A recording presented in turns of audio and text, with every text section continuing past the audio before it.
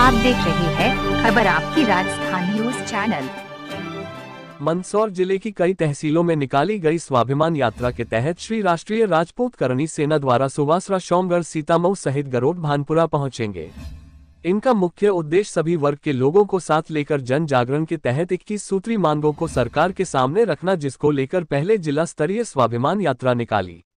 गई थी अब तहसील स्तरीय स्वाभिमान यात्रा निकाली जा रही है। 8 जनवरी 2023 को भोपाल श्री राष्ट्रीय राजपूत करणी सेना द्वारा भोपाल के जम्बूरी मैदान से हुनकार भरेगी। आज शोमगढ़ नगर में पहुँचे जीवन सिंह शेरपुर को लेकर भव्य रूप से स्वागत करते हुए वाहन रैली निकालते हुए स्वाभिमान यात्रा नगर में निकाली गई। भव्य रैली का जगह जगह हुआ स्वागत। तहसील स्तर पर पहुंचकर 8 जनवरी 2023 को लेकर भोपाल के लिए किया जा रहा घर घर जाकर जागरूक।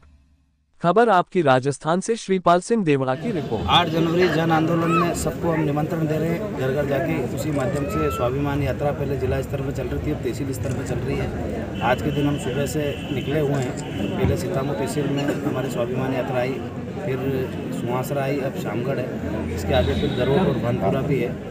तो हम लगातार लोगों के बीच में जा रहे हैं हमारे और उनको निमंत्रण दे रहे हैं और उनको एक यात्रा निकालने का भी बोल रहे हैं कि 8 जनवरी से पहले एक जन जागरण यात्रा निकाल कर गाँव गाँव घर घर जाके हमारी जो इक्कीस सूत्री मांगे हैं, उनके बारे में समझाए, उनके बारे में बताए और अपना जन समर्थन जुटा के आठ जनवरी जन आंदोलन में शामिल हो जम्बूरी मैदान पर भोपाल।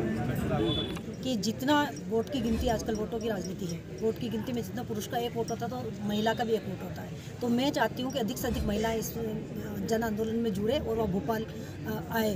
तो मैं उनको यहाँ पे ये अपील अपील करना चाहती हूँ और वह निमंत्रण देना चाहती हूँ कि अधिक से अधिक संख्या महिलाएँ पधारें और ये जो इक्कीस सूत्री मांगे हैं, ये सर्व समाज के लिए है केवल क्षत्रिय समाज के लिए सर्व समाज के लिए है और हम जहाँ पीड़ित और शोषित हैं, वो मांगे हमने अपनी उठाई है और हम सरकार से चाहते हैं कि हमारी इक्कीस की इक्कीस मांगे मानी जाए। इसीलिए हम अधिक से अधिक संख्या में जम्बूरी मैदान को ओवरफ्लो करना चाहते हैं। जीवन सिंह जी, शेरपुर साहब ने महाराणा प्रताप जयंती के दिन कुंभलगढ़ से जो स्वाभिमान यात्रा निकाली थी, मध्य प्रदेश के सभी जिलों में होते हुए आज मंदसौर ज़िले की शामगढ़ तहसील में आई है।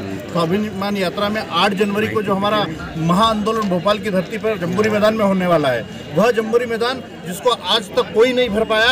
आज जीवन सिंह जी शेरपुर की जो टीम है, हमारे जो भाई लोग हैं, अपने इक्कीस सूत्री मांगों के साथ जम्बूरी मैदान में को भरेंगे और भारत मध्य प्रदेश की राजधानी भोपाल को हिलाकर अपने हक और अधिकार की आवाज़ को हम लोग बुलंद करने वाले हैं। आठ जनवरी को हम निमंत्रण देने के लिए माननीय प्रदेश हमारे के मुखिया जीवन सिंह जी शेरपुर के साथ आज शामगढ़ आए